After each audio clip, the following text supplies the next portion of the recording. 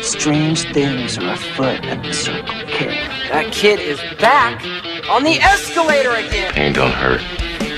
Is my boomstick! Game over, man. Game over.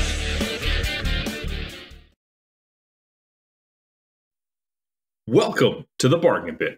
He's your host, Ben Mason. And he's your co host, Sandro Luketic. And today we're talking 1997's Snowboard Academy.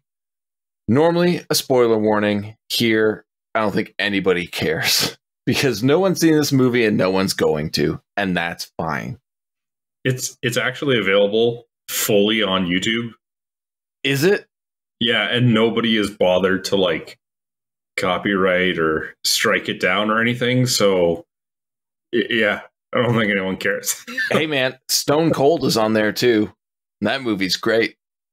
But there's one thing that I thought you would find funny about this movie if you did a little bit of research, specifically on one of the writers. Come on, man. A writer? Well, he also acts in this movie.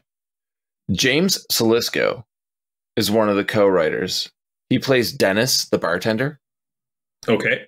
He has written this movie and one other movie called She's Too Tall, starring, you guessed it, Brigitte Nielsen and Corey Feldman. This guy has written two movies, each of them starring one of the Coreys. I don't know what I'm supposed to take from this information. Nothing good. Nothing good. Um, I'm not saying it's an amazing achievement. I just like it. All right then. but we we came up with the idea of covering Snowboard Academy because we wanted to do something a bit lighter, and we are talking about doing something like Rad, you know, the uh, community coming together, or like a sports movie in a small town. And this is one of the options that we looked at. And I have seen this movie numerous times growing up. Uh, I own the VHS. I watched it with my best friend at the time, Matt Murphy. Uh, we loved it. We knew it was bad. We knew it was really bad. Um, but I haven't seen it in a very long time. And you know me and Corey Haim. I love this guy. He was amazing to me. Oddly enough, I don't know if I'd call this a Corey Haim movie because he's really not in it that much. No, no, that he is a supporting character. It is more. I believe you said you found a review or a comment on the movie Mhm. that felt a lot more accurate. Yes. And the reviewer called it Ernest Goes Skiing. Yes. But we agree that this is definitely not an earnest movie. It's just Jim Varney doing his comedy. No, it's it's absolutely not. He's not wearing the hat. But it is more an earnest movie than it is a Corey Haim movie. Oh yeah, definitely. Um, did you have any history with the film at all, or is it just something that came up and I picked it? Um, no history whatsoever. I googled uh, movies like Rad, and this was one of the ones that came up. oh, you got had, man. oh, sure, sure did. I've seen the better version of this movie before. I owned the better version of this movie. It's um, I don't think we're gonna surprise anybody here. It's not. It's it's not good. Mm-mm. Um, Quite frankly, if you're thinking about watching this movie, just watch 2001's Out Cold instead. No, no, this is fun. this is fun. It's just, it's just really bad. You know what else is really fun? Your game. Playing my game. Yeah, I'm pretty nervous about this one. Okay, we got three and a half. Okay, I think I've got the three. The half, I don't know. The half I don't expect you to know. Okay. Uh Jim Varney, Of course. Ernest Scared Stupid. That's right. Corey Haim, Mm-hmm. Roller Boys, Yep. Silver Bullet, Yep. Lost Boys, Got it. License to Drive. Did we do License to Drive? I think so. Yeah, we did. Okay. Yeah, we totally did. I missed that one. Whose game is it now, bitch? I didn't forget that he was in the movie. I forgot know. that we covered that movie. This, this is your job, producer man. Oh, now I'm the producer. Okay. You've been producer for a long time. Fuck Craig. Um, where's he been? Where has he been? He has no presence here anymore. I I don't don't have an answer for you, man. And Brigitte Nielsen, Rocky Four. And Fuck. Uh, oh, oh, oh, uh, Cobra. you got it. Who's the half though? Uh, Don Jordan. Oh, I don't know who that is. He played Greenwald. Who's Greenwald? That's a great question. I'm assuming it's one of the many other snowboarders or skiers in the movie because he's specifically named as a character. Oh, he's the um the sports news host at the end. Oh, okay. Uh, he was the main cop in Brainscan, Oh wow, cool. but that's That's a great movie. yeah. he didn't have a name either, though. He was just the No. cop. well, Frank Langella killed that. Like he he he stole every scene he was in in that movie. Yeah, yeah, Dude, yep. this is another weird one. Um again, fond memories. This had Bio-Dome level memories for me. it had Bio-Dome level quality for me. No, it, it's nowhere near that status. Yeah, I guess it is much better. No. but diving diving in. Peaceful skiing mixed with harpsichord music as our intro, leading into snowboarding mixed with surf music. Immediately we know what they're doing. Skiing accepted, classic respected, snowboarding crazy, no one wants it there, whatever. Some fun stunts though, I have to say. Um Why are they so against snowboarding? I don't know. It comes up throughout the entire film. This is a question I had throughout the entire movie. I'm like, why? There's even a part where they're talking way later about how it brought in a lot of money, and it's like, yeah, what's the problem? People are afraid of change, man. Uh, it, it had the same view as skateboarding for a long time, where it was just delinquents that would do it. So let's ignore it and maybe it'll go away. The backflips they do at the beginning here, I I, I was inspired to try it because I was snowboarding at the time. So I tried to do a backflip or what we call a Satan flip. It did not go well. Oh, I, I managed to find the only exposed rock on the mountain with my face. and just at the time, which Paul in this movie wears, at that time in 97, like 96, 97, for some reason, all the rage was wearing winter jackets that were yellow and black. Now, I don't know if you've bled all over yellow before. It stands out and it's very embarrassing. So that was me coming down half of the hill, face all bloody. You can tell from a very far distance of my jacket that I messed up something horrible. It was really embarrassing. But seeing these guys snowboard and like cut through trees actually had me on edge. I thought it was a pretty dangerous stunt to have, and it looked like they were the actual actors and not legit snowboarders. Well, you have to know that they're going to make it. yes, exactly. if they had an accident like you and were bleeding all over their jacket, I don't think that cut would have made the movie. Yeah, no, no one's gonna Sonny Bono themselves at the very beginning of the film. But basically, this group of four snowboarders are terrorizing this quaint ski hill. But right after this, we get what I would say is one of the best saving graces of this movie, and that is our introduction to Red Eagle 1, Ski Patrol, and Head of Security. What are your thoughts on this guy? I can't stand this guy. Really? Mm. Oh my god, I love him. What what It's what the way he talks. do, you, do you remember the episode of Holliston we reviewed with pen cake? yes. It's like that word for an entire person's dialogue. It's so good though. no! Oh no, it's fucking great, man. And even him like trying to help the woman who fell over. He's like he's trying to hit on her. And at the same time, like he's so focused on his job that he's trying to smooth talk her and the skiers fly by and he just screams at them and then tries to go back to it. the whole time he's like, around here, I am the law. And he just has snot frozen to his face. Like he is such an embarrassment, but he is so funny. And I think it's because you have to be 100% open to making yourself look like a complete idiot for this role to work. And I'm surprised you think it didn't because I thought he nailed this in the opening scene.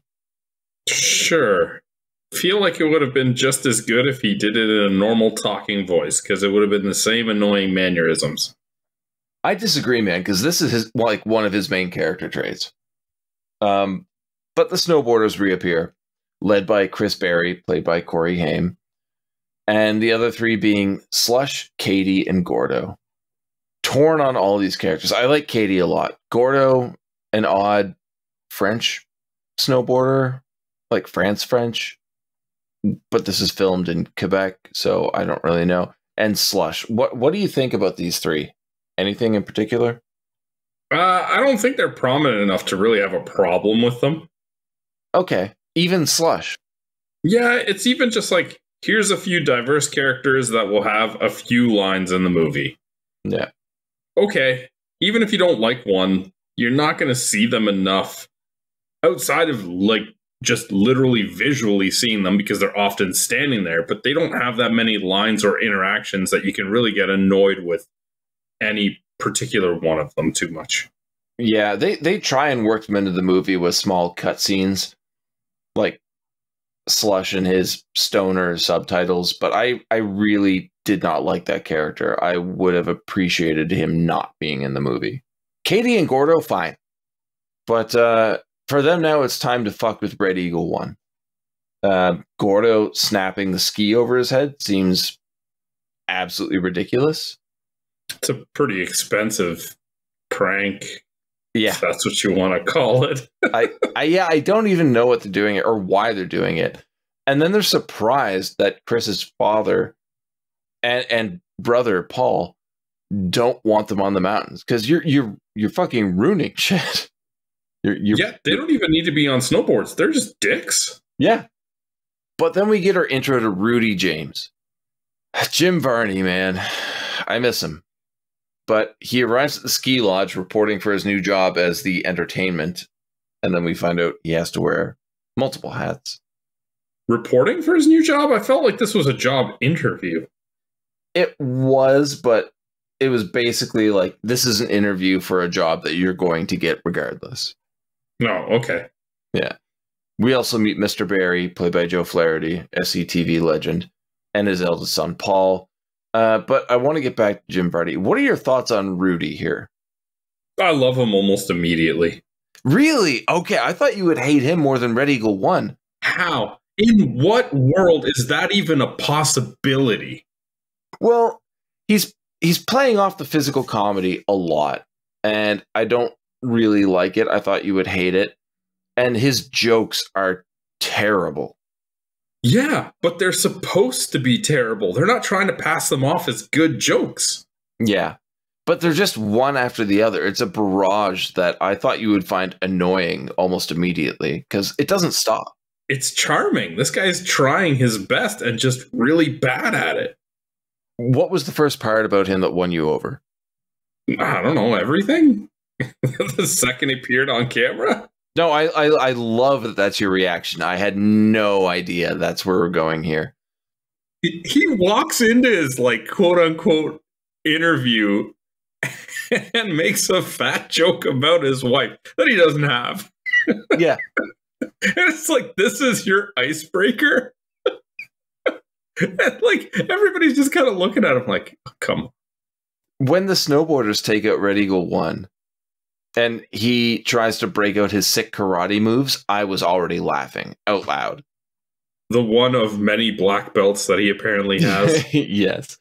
But when they finally leave and he breaks out the walkie and he's like, come in, head cheese, that's Red Eagle 1.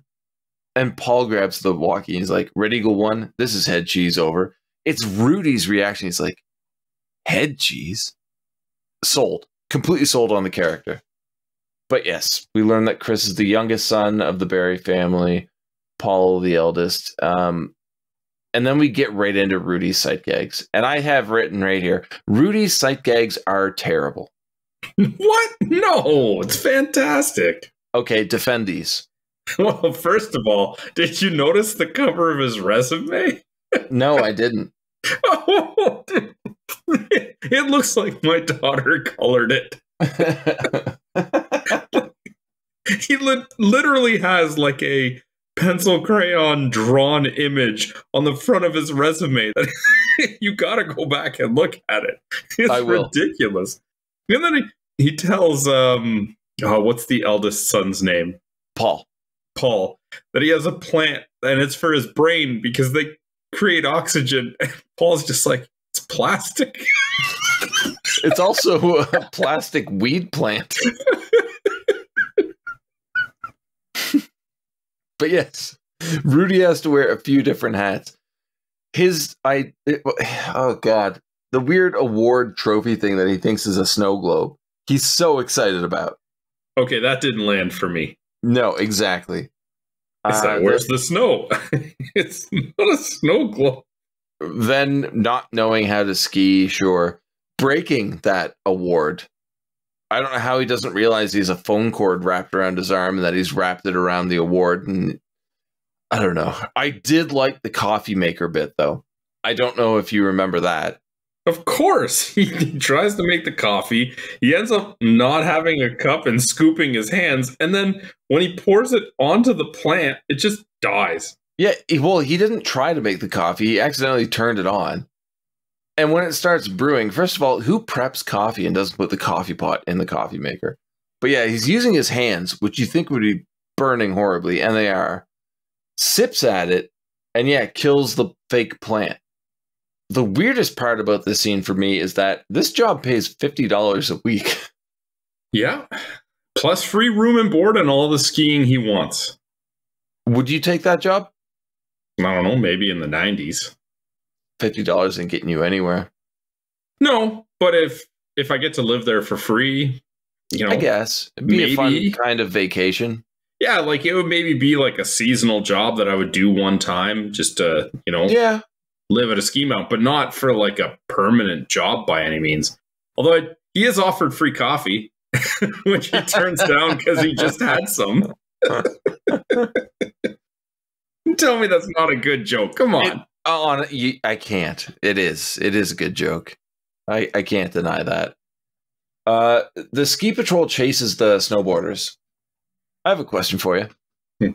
oh, this should be good. How tall is this fucking mountain? Um, Because they just keep know. going. yeah. And the tripwire bit. Did you find that odd at all? Uh, Very. Why is this tripwire even like prepped and hidden and ready to go? Why do they have this contraption? Yes, this is what It's I'm just a trying. ski pole.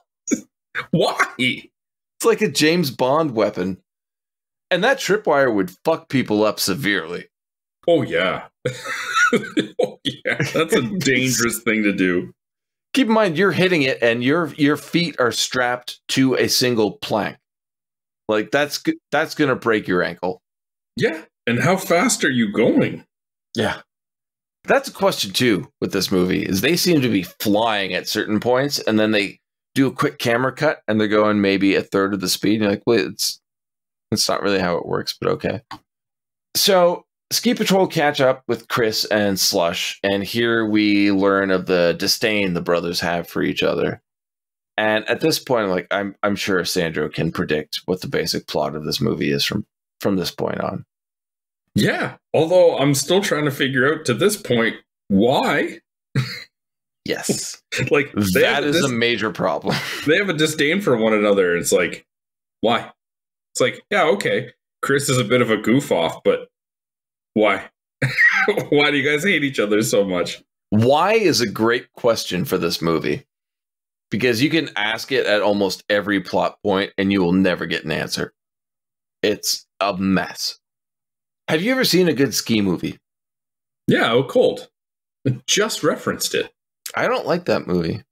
Yeah, well, go back and watch it again. Maybe. Ski School? No. Guttenberg? I think he was in that. Should watch that too. Surf movies for sure. I guess it's kind of the same idea, like except Point Break's awesome. So Paul is now general manager of the resort, and uh, my only reaction is like, "Oh, great, more conflict that we don't need." And then a tour of the, uh, I guess it's the Chanticleer Resort. Two mountains, Sandro. Yeah. Mount Happiness and Cypress Hill. My next note says, I don't see any jokes coming from this. But nobody goes down number nine. No one goes down number nine. Number nine run, nine mountain out of two. What's nine? Upside down six. All right then. We get no Cypress Hill joke, which I was waiting for. We definitely get a Mount Happiness joke later, which we'll get into. Um, You'd think that one of the stoner guys would make a Cypress Hill joke. fucking right. Okay, let's get into that now. oh, you jumped on that. fucking why why like j- one one joke. We have slush. He's the only stoner in the fucking movie. Have him make a cypress hill joke. There's no reference to rap music in this movie that i can remember. Just make a cypress hill stoner joke and they just don't. And i don't know why and it infuriates me. Your expectations are too high for this movie, my friend. Expectations should not exist in this film i understand that now exactly. Um, when Mr. Barry's taking Rudy up the hill on the ski lift, and he just gives Rudy the walkie, being like, "We need these," and he drops it immediately. It hits a skier on the head. Sounds like an old guy. So he grabs the other one and tries to get in touch with him, suggesting a tourniquet around the neck, which did make me laugh. See, see, his But- jokes are landing. But uh, the two things here. There's another one that's like, "Oh God, I hope you're not a bleeder." Like that's pretty fucking funny. My note after that though says, "Dude, the torture I've put you through already. I'm sorry, but you're enjoying this." Yeah, we'll see. Okay. Uh, Rudy is the safety engineer. Brilliant, absolutely brilliant to me. The dynamite bit. Do you remember the dynamite bit Yeah, they mention how they set off dynamite. on the more difficult runs? Yes, on more difficult runs, they want to explain that they are doing controlled avalanches so that they don't have one on their own. Mhm. But but he's like, I guess that would make it a harder run. Yeah. In his mind, they got to be dodging the dynamite when they're skiing. And that's part of the writing that I love. Dynamite, huh? Yeah, we set it off on the more difficult runs. Oh yeah, I guess that would make it more difficult. Oh, he's so good. Yeah, I think okay, you're right. It's not the writing that's good, it's Jim Varney's ability to deliver poorly written lines in an actually hilarious fashion. He he is the savior of this movie. Absolutely, 110%. Next up we meet Dennis the bartender. Um anything you want to mention about this guy? No, I couldn't stand this guy. I liked him. He kind of reminded me of Kevin Smith in the Silent Bob role. Like he was around just to kind of add a little bit here and there, but he's also the writer, so you know he put himself in for a reason, a selfish reason. I don't know what the point of this character is. Uh, it's stealing from the Save the Whales fund, and then making Rudy donate. Even later in the movie, during the like the the races, he's walking around with that Save the Whale tin, just making people donate, and he's just pocketing all of the money. I thought it was kind of a fun running gag. What What's the point of this character? I don't know. All right, Voice of reason? maybe. No, there's no reasoning here. Telling Mr. Barry that his wife was in, I thought that was pretty funny. Because Barry's like, yeah, she can be a little abrasive. He's like, no, a belt sander is a little abrasive. That was a pretty good line. It's great. Uh, my next note just says, for as bad as this movie is, it has some pretty funny jokes. Which leads me into the part that made me the, laugh the hardest of this movie. And now understanding your dis- your, your dis- despite of uh, of Red Eagle One, it's his reading the directions to make mac and cheese. Oh, this scene is so annoying and it just keeps going. But we're going to insert it into this recording just so anybody listening who hasn't seen the movie gets what Sandro's talking about. This man's delivery, he hates. I think it makes the character completely enjoyable. Oh, you're just evil, but okay. Directions. Add macaroni to 6 cups of boiling salted water. Stir, boil rapidly, stirring occasionally 6 to 8 minutes or until desired tenderness is reached. Roger. Drain. Add 3 tablespoons margarine, 1 quarter cup milk, and the cheese sauce mix. Stir well. Copy that. If a thinner sauce is desired, add 2 tablespoons of milk. Not a problem. So Katie gets the snowboards back after convincing Red Eagle that somebody is stealing all of the snow. How stupid is this guy? He's great. I don't know why you hate him so much. Like, we've been barraged with so many lame jokes, Sandro, that I'm actually finding them endearing now and legitimately laughing out loud. Even when the snowboarders post the flyer of him all over the place, of him holding up the snowboard, um, instead of ripping them down, like using his hands, his method is to press himself against the side of a wall and just run along it. wow. You really hate all of this, don't you? I feel like you should have been the one making the Cypress Hill joke based on the condition you must have been in to enjoy this Red Eagle character. Oh, he's so good. I loved him back in 97. I love him now. I I I don't get why you hate him so much. But moving on. Rudy's first sound check. I knew you would like this. There's two lines in particular that Okay. I like. This this scene was written for Sandro. Where are you folks from? Buffalo. Well, I had human parents. Followed by him going up to the old two old guys who are playing like chess.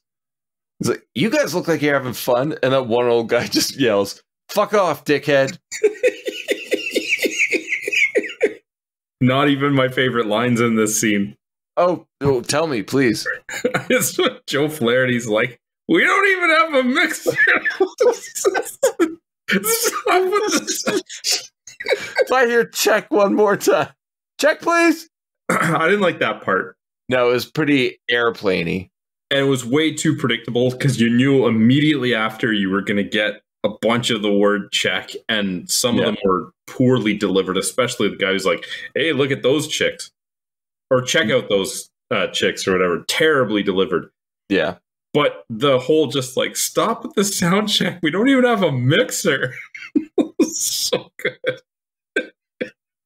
I think it's Jim Varney's reactions to things like that that make the other actors successful in these scenes. he's so good that he plays up this facial expression like he's actually surprised by this information like he's caught off Yeah. this, this guy is so good i don't know what he what is he doing in this movie and Not making much money, that's for sure. I would love to know what he made for this because we'll get into it, but it wasn't made for a lot of money. i'll tell you what he made for this movie Yeah, 50 bucks a week in room.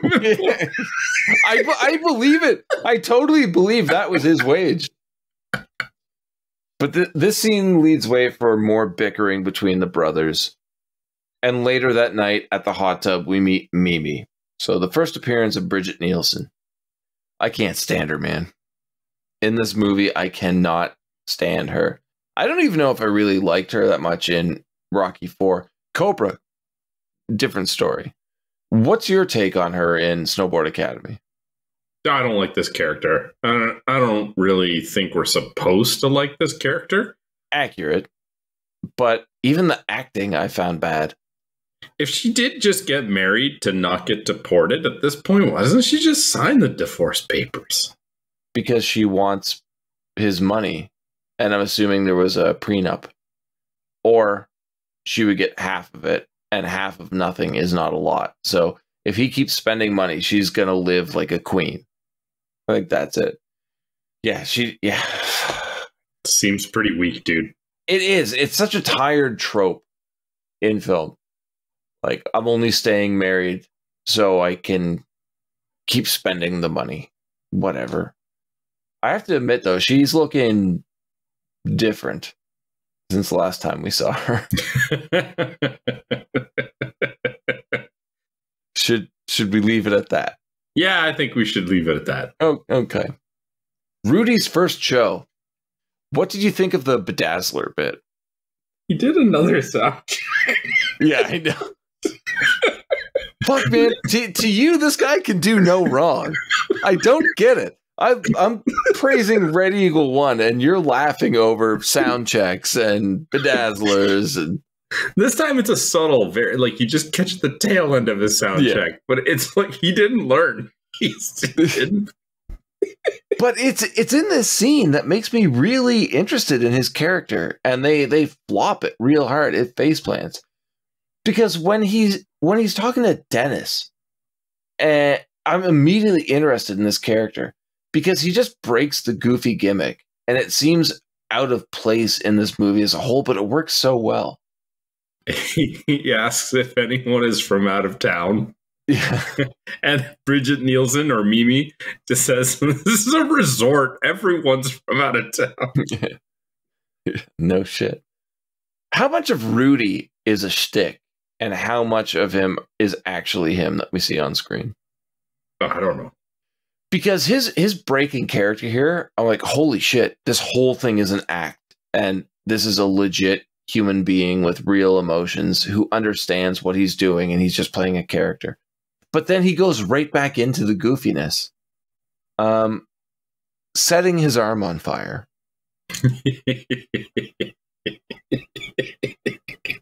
The best sight gag in the movie. oh, yeah, by far. Oh my god! you see it too, because, like, uh, is it Dennis, the bartender? He, he like squeezes some of the alcohol out of his sleeve so that you have it right in the front of your mind. Yeah. And then he goes to light the cigarette and lights his arm on fire. The best thing about this, though, is that Jim Varney's flaming arm carries into the next scene. That's a great way to use that joke.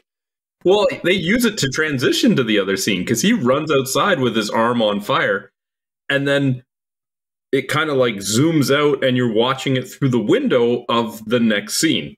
Yeah, which is Mr. Barry and his two sons, Paul and Chris, having a discussion about allowing snowboarding on the mountain. I I had to go back and listen to the dialogue again because I was just watching Jim Varney in the background.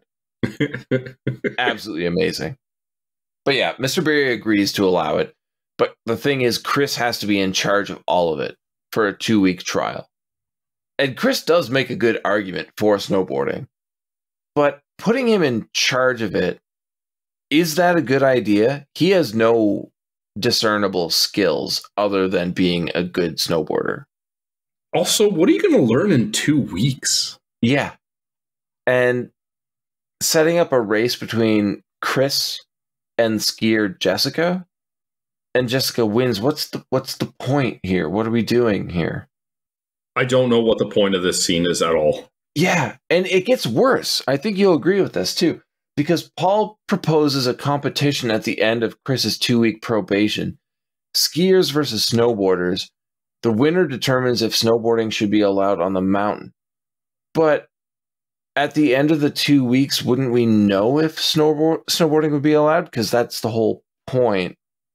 So it's a completely ridiculous plot element that exists only for more action and no story.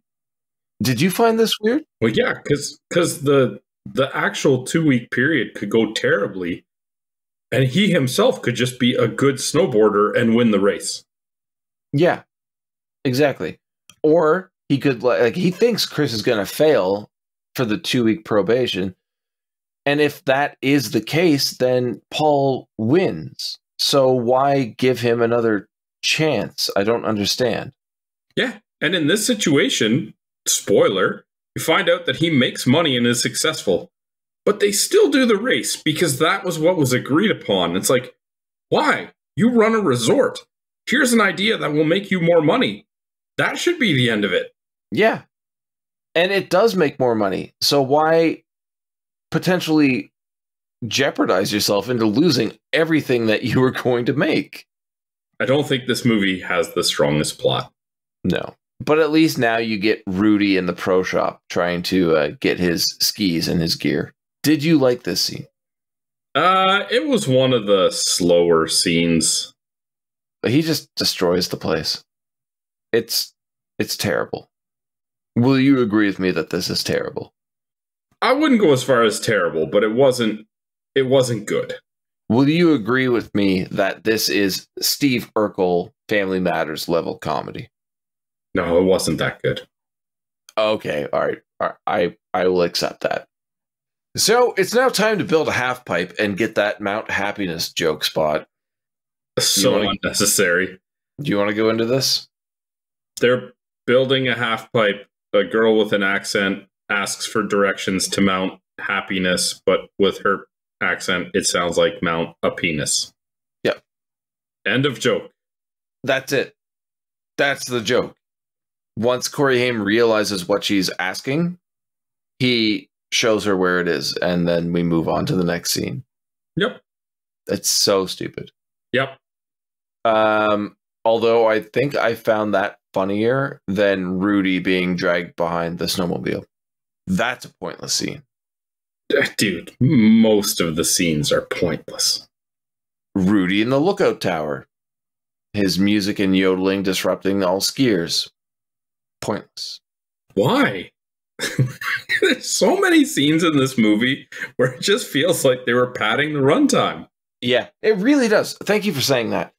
Because this this is well, it's not technically one, but this feels like a day in the life movie, kind of like Empire Records, right? Where the entire plot plays out over a day. Here it's like it's 2 weeks but feels like 2 days because the passage of time is just non-existent here. But Red Eagle 1 is still tearing down flyers, which I find funny. And this is where Mimi recruits him. We are flying through this at a very quick pace. The snowboarders poach Sanjay from ski school, and we get a brief training montage. I think Sanjay is one of the most entertaining characters in the movie. What are your thoughts? He's he's all right. Who would you put above him? Rudy. that, that, that might be it. Perhaps Yeah. you are correct. exactly. Oh, that's kind of sad. I know, right? Yeah.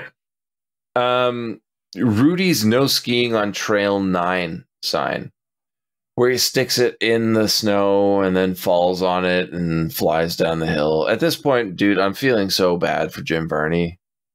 Like, w- I, I'm feeling really embarrassed because he is earnest. He is one of my favorite characters from films as a child, and watching it, it's it's kind of like watching Leslie Nielsen get into worse and worse parody films. Did you get that vibe? No, No, you just loved him in this? no. I mean, like Leslie Nielsen's bad parody movies were still somewhat entertaining. After after wrongfully accused, I felt like he just needed money. Yeah. I still don't think this is even on those levels. Okay, fair enough. Uh Sanjay does all of the recruiting for the snowboarders to save them? Why? How? And snowboarding just catches on because of it. Again, why? How? The plot to this movie makes no sense. It must have been that half pipe that they built with shovels. Uh, Thank you for bringing that up too. oh my god, the whole thing is so dumb. They they put that half pipe together real quick. yeah. So Mimi wants all of uh, Mr. Barry's money. We've established this. Why does she think that Red Eagle One is smart enough to not just formulate a plan to do so, but successfully execute it? Plot convenience. I think we're dying on this movie, man, because yeah, there's not a lot to even try to explain. It just doesn't make sense. No, it doesn't. Red Eagle might be the worst person for her to recruit. Uh, He is the worst. The absolute worst. There's no reason to believe that he is competent enough to do anything. So we just get snowboarding montages. And honestly, it kind of makes me want to get back on the hills, but you know, winter is coming. They're just desperate to fill the runtime of this movie. And it's not a long film, it's under an hour and a half as is. there might be a solid 40 minutes of a movie in this. I don't even know if there's that much. What's your thought on Rudy being stuck on the mountain after trying to snowboard and just falling over? He's there for most of the day and into the night. Just take the fucking board off, man. That's all you have to do. He's got a small pile of snow on him. One half of him. He can't get out of that. Well, the, the thing is, like, when he falls over, he's on his back. So he tries to kip up for some reason and be like, why don't you just sit up and stand? Now you're going to roll into your stomach and then flip over again and try and kip up again, and it's not going to work. Just either sit up and stand or, or just undo the bindings and walk away. Well, that doesn't make any sense. What also, like, what doesn't make sense is then we just cut to the snowboarders having a party, which is standard teen movie party fare, and it does nothing for the rest of the story. It's again filler. Now, the next scene I would love to really get into. Okay. Red Eagle is cleaning Mr. Barry's office while Barry's on the phone with the insurance company. Did you read the bank notice that Red Eagle 1 sees on the desk? No, I, I saw that it said bank notice, but I didn't actually get to see any of the, the body of details, and I didn't care enough to like rewind and pause. Okay. Dude, this is the worst thing I've ever seen for a letter in a movie. Okay. I have transcribed most of it. Oof. This letter has for purpose to encourage you to pay us back the one word full amount of money one word that you owe us after lowercase a 30 days after again so after 30 days after the reception of this letter if you didn't pay the full amount of 2 million dollars we will have no choice but to seize s e i s e the ski resort named Chanticleer. The next three words are spelled DJR.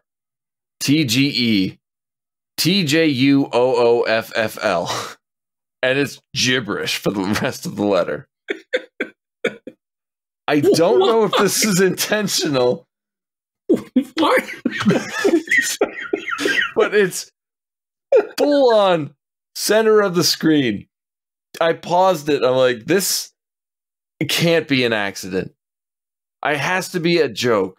The conflict is with the insurance. Why would you even have a bank notice? There? I don't know. I appreciate it. Did Red Eagle write this?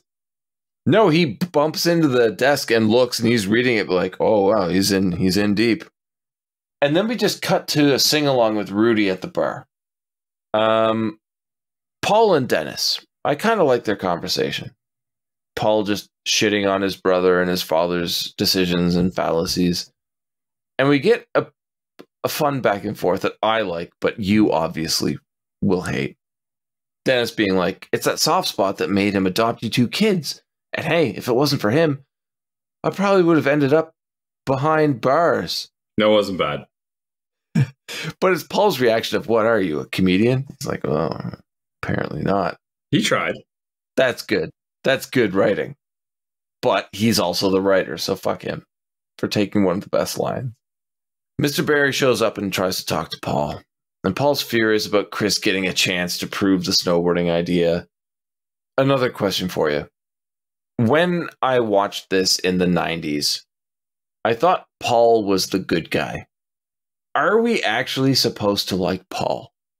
No, I think he's uh, like a red herring antagonist. Who is the main character of this movie? Uh, Chris? He's got less screen time than anyone else, it seems. But if you just analyze the plot, he's the one that's trying to make something of himself after being a slacker, bring extra money to the mountain, which in turn Yeah. might save it from the insurance. Structurally, he seems like the main character, but they don't use him as such. No, because Jim Varney's on screen more, but he's obviously the side character. Haim's in there a bit and is integral to the plot. Same with Brigitte Nielsen, who we see maybe five times. Joe Flaherty, we see a fair amount, but he's not the lead. Paul Hopkins as Paul Barry. I don't know. I, I think we picked a movie that doesn't have a lead. I don't know if we've ever seen that before. But the next day, apparently two weeks has passed because it's skiers versus snowboarders. Paul Stanley has to be a Kiss reference. From the insurance company, anyway. He arrives to inspect the resort. First race Sanjay versus an Olympic skier. How? Exactly. Nobody noticed that she doesn't belong. Sanjay immediately recognized her as an Olympic skier, but somehow nobody else does. Yeah.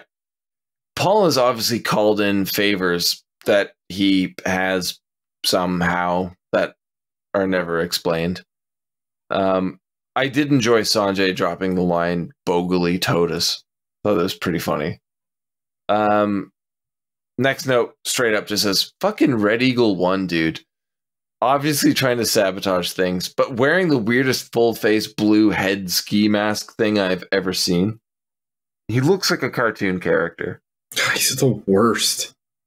But the fact that he's trying to light a cigarette and can't get it through the, the mouth hole, so he tries the nose and can't, and pulls the mask down, gets it into the eye hole, lights it, and the mask just shoots back up. So he's got a lit cigarette in the mask. He's fighting to get it out, slapping himself in the face. It falls out of his nose. He starts coughing and then just spits in the mask.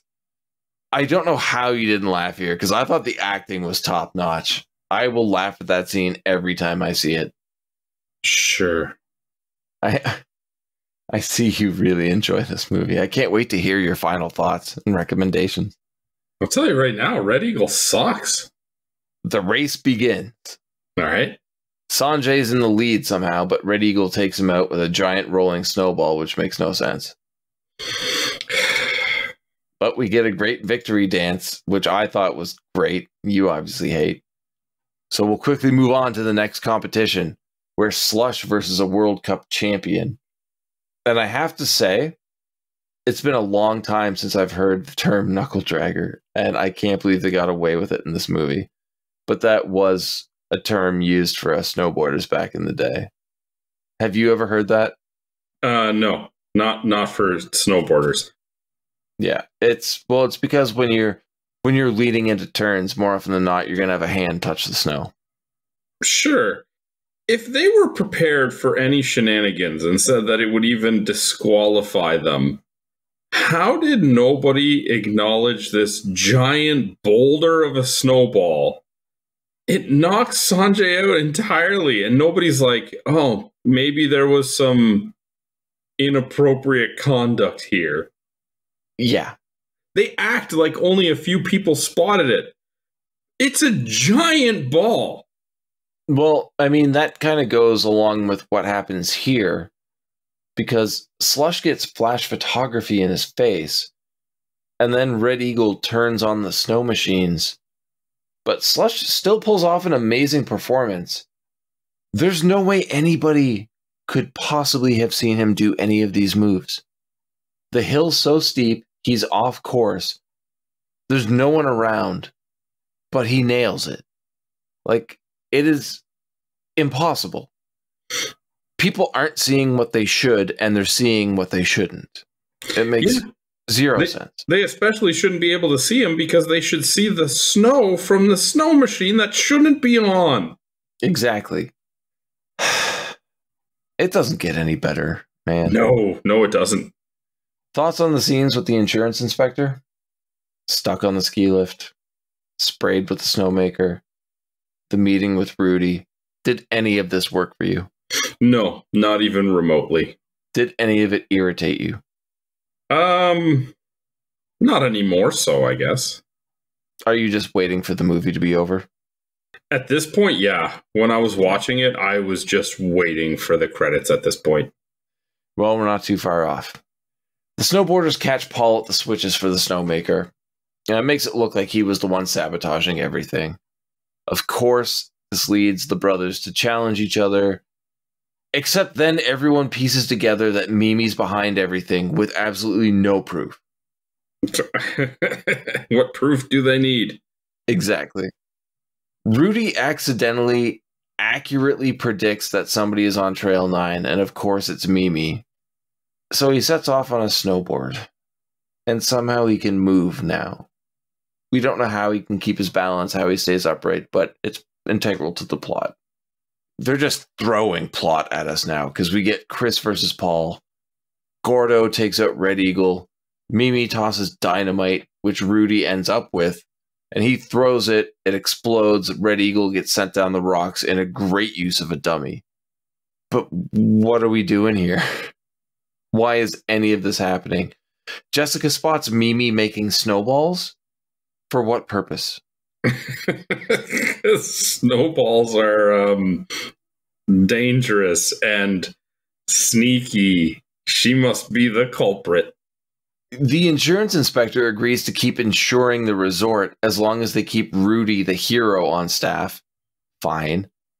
Then we jump back to Mimi, who goes into the pro shop and starts hurling snowballs at Tori, then starts a ski pole fight with Jessica, pulls a boot rack down on top of her, tries to grind her face on some sort of weird sharpener or belt sander. That would have been like fatal.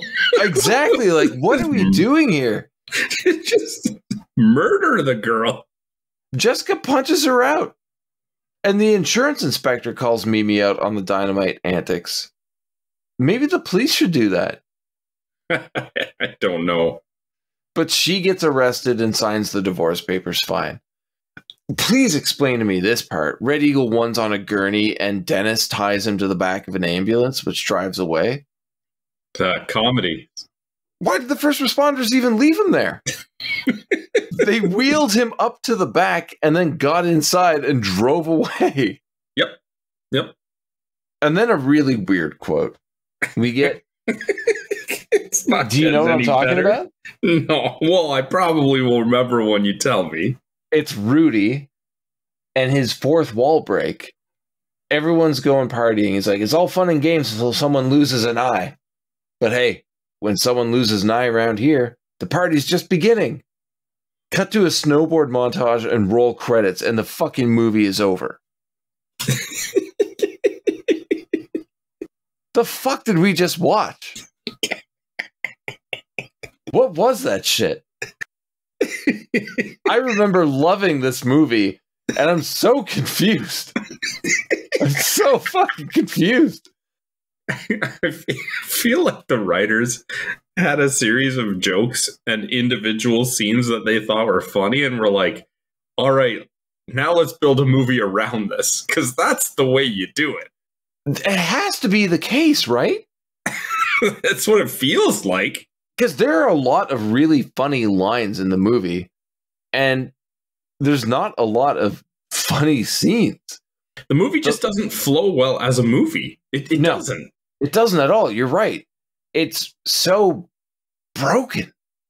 And I I really don't think anybody had fun making this movie. Except for James Salisko as Dennis. Maybe? I guess. Probably the only one. Like Jim Varney is doing his best. Corey Haim is present. Brigitte Nielsen doesn't give a shit, you can tell. Joe Flaherty looks embarrassed. Andreas uh, Apergis, Apergis, Apergis as uh, Red Eagle One, he's fucking trying. He's really trying. Paul Hopkins as Paul Barry, also trying.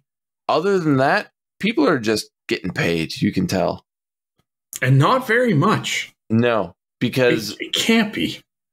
I couldn't find a hard number on what the budget was. I found the estimated budget, and it's going to be a lot more than you think it is. It's it's not a lot of money, but more than you think this movie could have been made for. Okay. Care to take a guess? 1.5 million. 2.8. No. I'm I'm hoping 2.7 of that went to Jim Varney.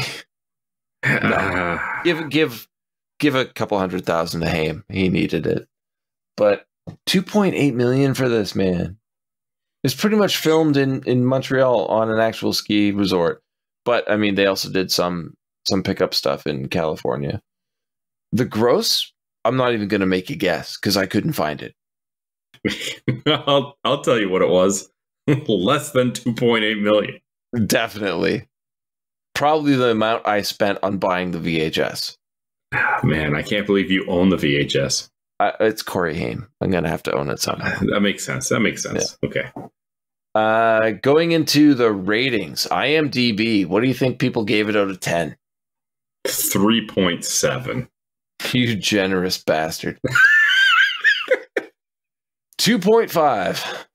Okay, I wasn't that far off. Yeah. What do you think about the uh, percentage of uh, positive reviews on uh, Rotten Tomatoes from the critics for the tomato meter? Not applicable. There are none. You are correct. Guarantee that I, once they started documenting this, no one went back and reviewed this. no. The audience score. How many positive reviews percentage wise? 17. 28. That's 28% is the best stat this movie has. That's a it's one of the lowest rated movies or recommended movies we've done, I believe. Yeah. I went into this movie thinking I loved it. We'll get to it. but for now, let's go to our awards. Okay, who did you have as your least favorite character? I think that we won't have any agreement on any of these awards. Okay. For me, my least favorite character was Slush. I hated that overdone stoner stereotype with stoner subtitles. I thought the acting was terrible. I don't think he needed to be in the movie. It was a waste of time, and I wanted him out. You? Ben, who was my least favorite character? Red Eagle 1. Yeah. Care to provide an explanation? I've already explained. I'm just going to be retreading the same grounds here. This guy was just annoying. Okay. I wish I could give you more. I don't have anything else. That's fine. Who's your favorite? Come on, man. You know who my favorite was. Rudy James, Jim Varney. Rudy James, the the legit only saving grace to this movie. Okay. I mean, we've covered why Jim Varney was so good in this. He's so good. Yeah. He's so good. I mean, there's so few.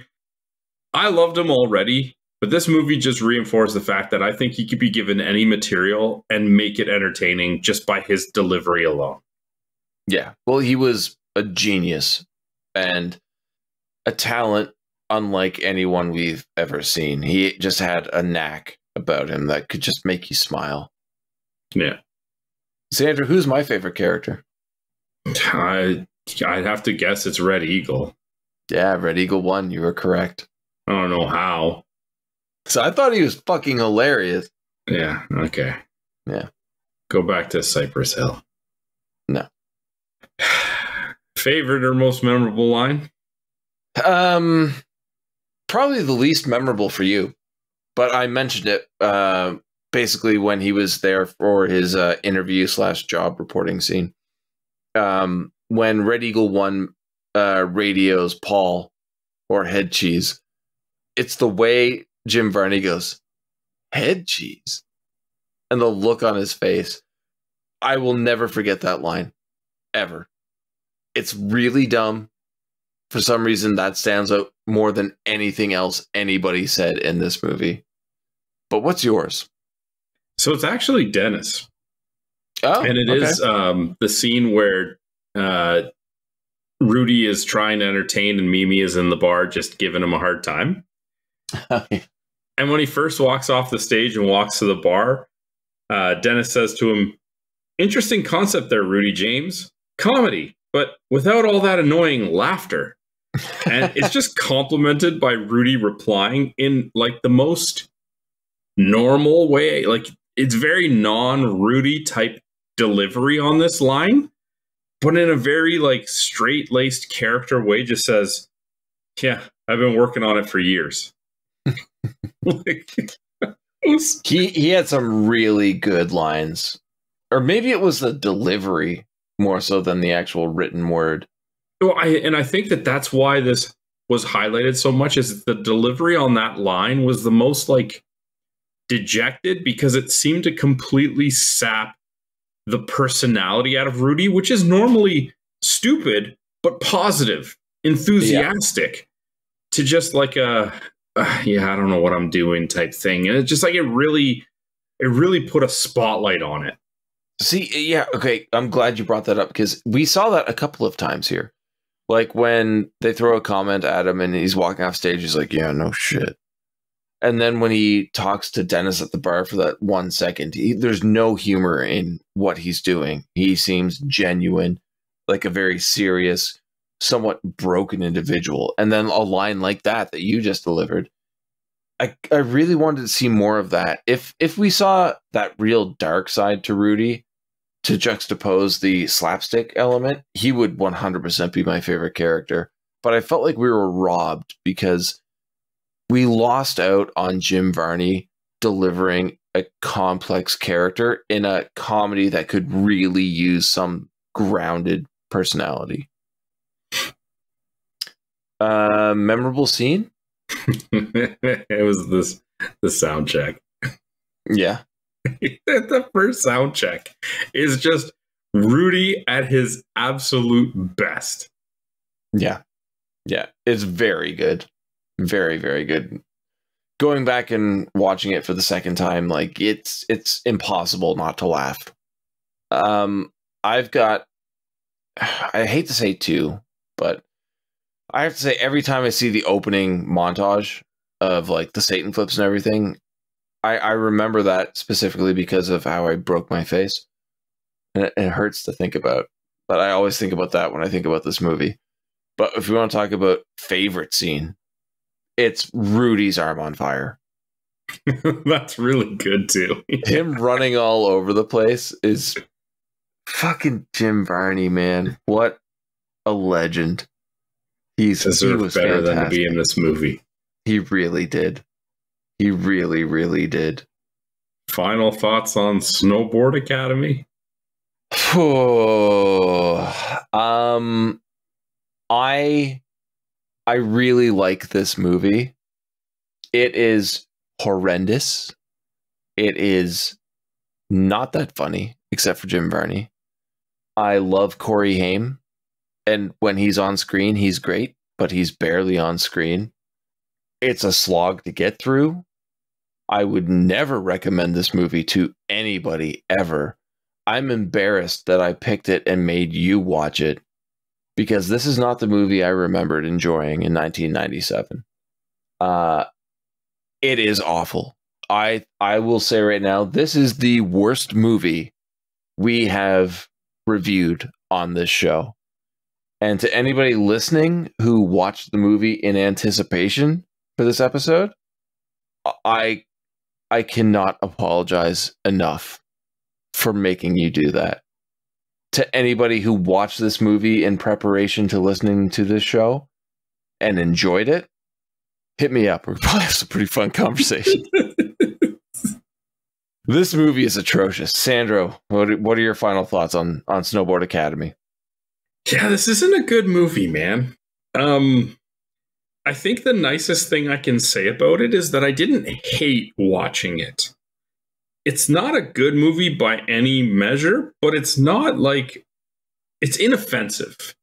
Like Yeah, I had no Yeah. problem watching it, but just the biggest feeling I had coming out of it, like, was that whole why? Why did any of this happen? Why did I watch this movie?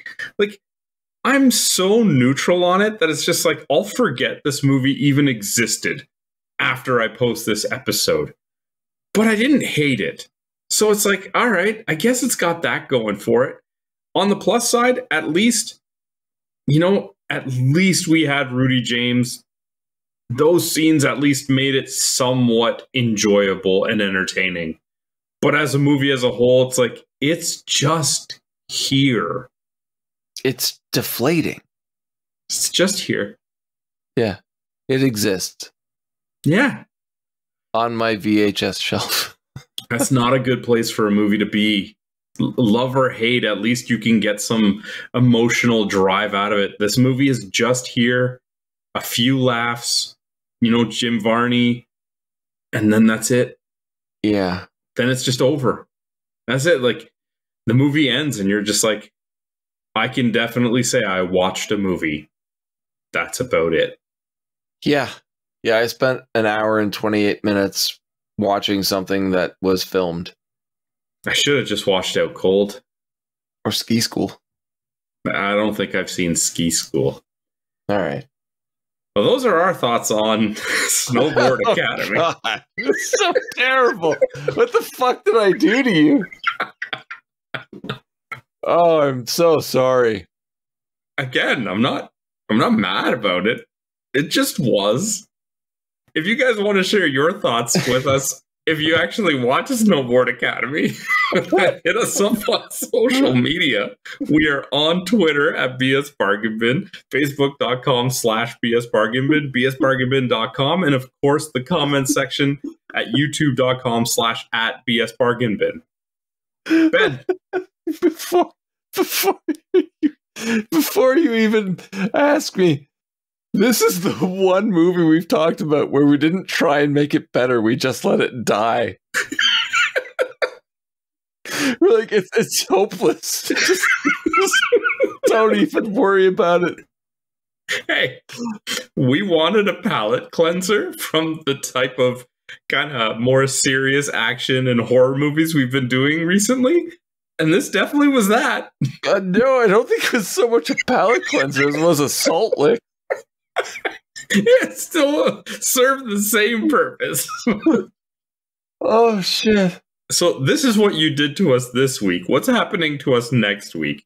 Well, next week it wasn't up to us at all. Uh, next week we are doing our September. Wow, I can't believe it. Listener pick uh, coming from Zero Valen. We are talking 1986's Big Trouble in Little China.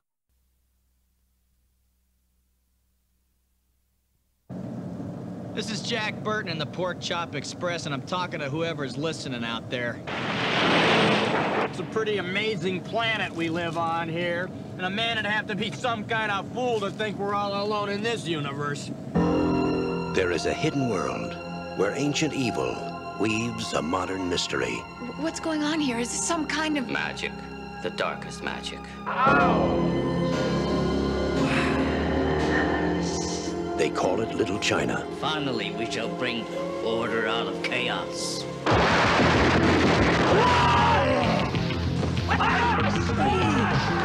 It's where Big Trouble was waiting for Jack Burton. Who? Jack Burton. Me. Jack? Jack? Jack! They told him to go to hell, You make one move. and that's just where he's going. Somebody, I don't care who, tell me what is going on.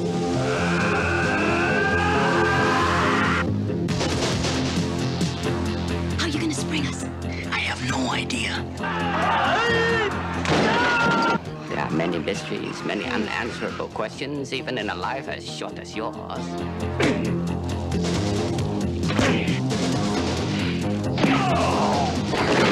My destiny rests in your capable hands. Hey, I'll do my best.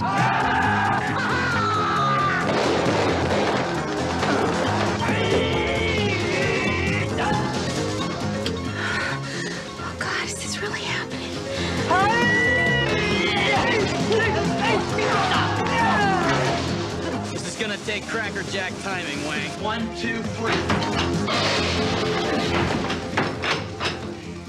We may be trapped. Total concentration. Safety. Huh, yeah. You ready, Jack? I was born ready.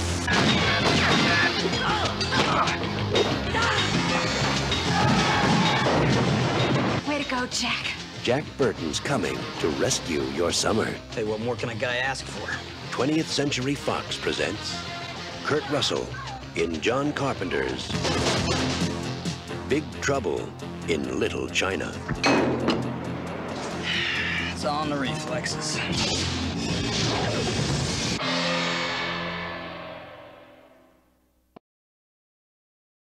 Until next week, have a good one. All the best.